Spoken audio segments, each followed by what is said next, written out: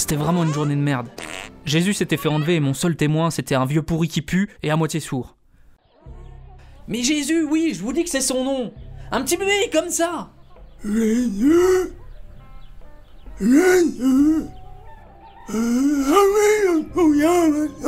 Mais du coup, vous avez vu qui a fait le coup? Des pourris, coin. Mais je comprends rien à ce que vous dites. Le ravisseur, il ressemblait à quoi? Il est parti par où? Oui, un putois énorme, avec des poules.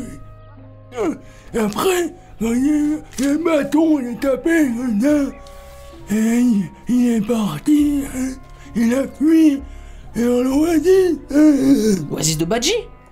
Ma femme, elle a fui. Ouais, bon, merci, c'est bon, je vais vous laisser. Hein.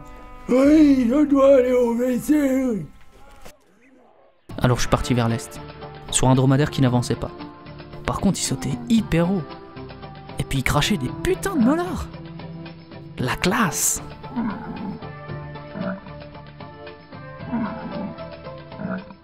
L'oasis de Badji était contrôlé par des bandits. J'avais décidé de parler à leur chef. Kader El Algoun. Wesh Glo, tu veux du shit? Rends-moi le bébé, Kader. Ah, c'est pour ça que tu es venu.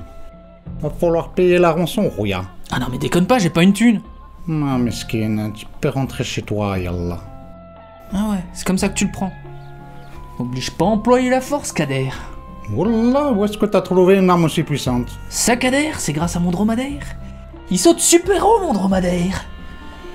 Hmm, d'accord, d'accord, baisse ton âme. Je t'ai rends Jésus. Hein.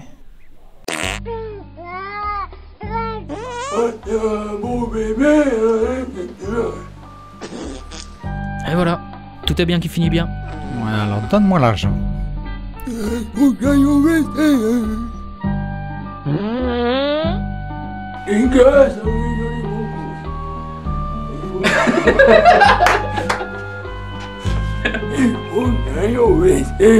Hein.